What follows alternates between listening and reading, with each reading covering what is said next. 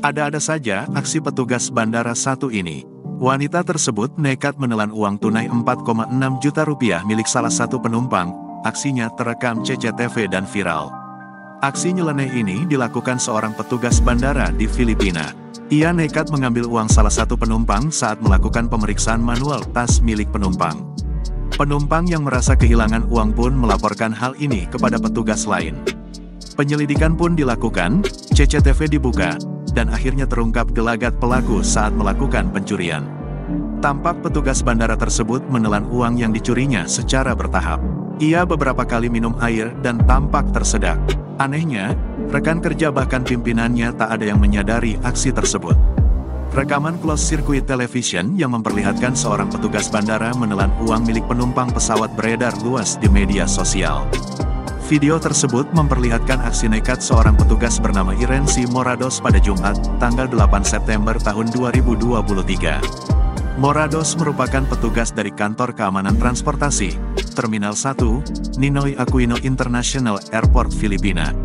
Ia menelan uang kertas sejumlah 300 dolar AS atau sekitar 4,6 juta rupiah milik penumpang bernama Chai asal China. Usai rekaman CCTV tersebut beredar, otoritas Filipina mengancam akan memberikan sanksi tegas kepadanya. Irensi Morados merupakan seorang petugas pemeriksaan keamanan di Naya, Filipina. Perempuan ini bertugas memeriksa barang bawaan penumpang sebelum naik pesawat. Diberitakan media lokal Jurnal Online, tanggal 19 September tahun 2023, kejadian ini berlangsung pada Jumat, tanggal 8 September tahun 2023, pukul 20.18 waktu Indonesia Barat. Saat itu, seorang laki-laki bernama Chai asal China berjalan mendekati petugas pemeriksaan bandara dan meletakkan tas bahunya di atas nampan pemeriksaan. Chai kemudian berjalan melewati mesin X-ray scanner. Sementara petugas membawa nampan berisi tasnya ke meja pemeriksaan untuk melakukan penggeledahan manual. Ketika penggeledahan manual selesai dilakukan, petugas bandara tampak berbalik sambil memegang sesuatu di tangannya. Dia meletakkan benda itu di pinggang kirinya dan kembali ke meja pemeriksaan.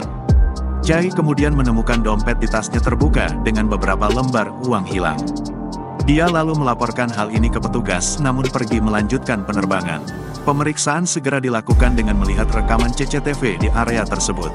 Penyelidikan lebih lanjut dilakukan terhadap para petugas yang berada di area pemeriksaan penumpang.